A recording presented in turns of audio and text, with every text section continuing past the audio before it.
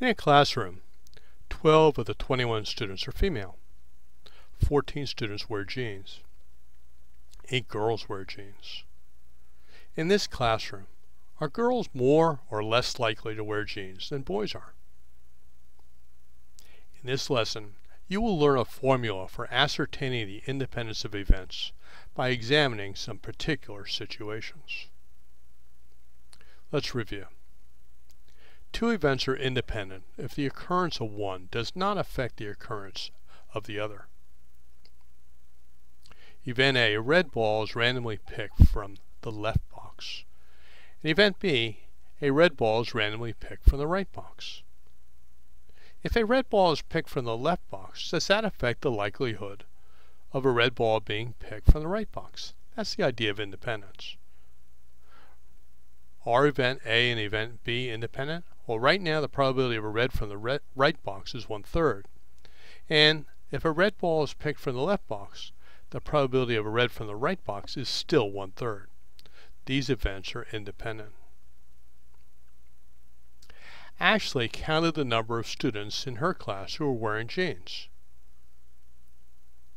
As represented by the table here. You can see that twice as many girls wear jeans as not, and twice as many boys wear jeans as not. We can represent this in a Venn diagram. So we have females on the left, jean wearing people on the right. There are four girls who don't wear jeans, eight girls who do wear jeans. There are six boys who wear jeans.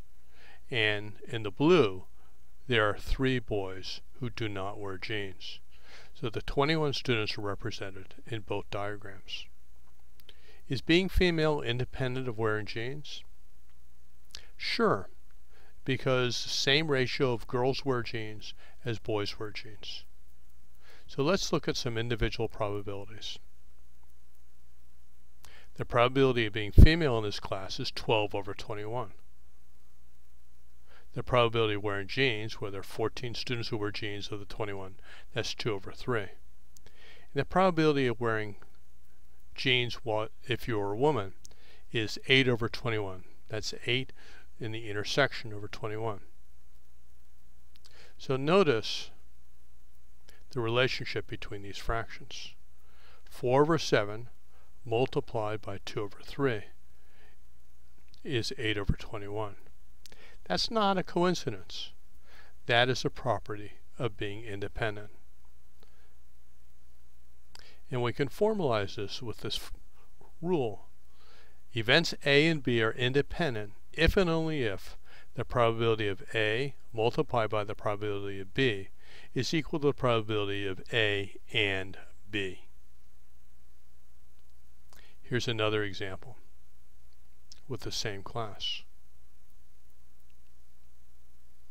The probability of being male is 9 over 21 because there are 9 boys of the 21 students.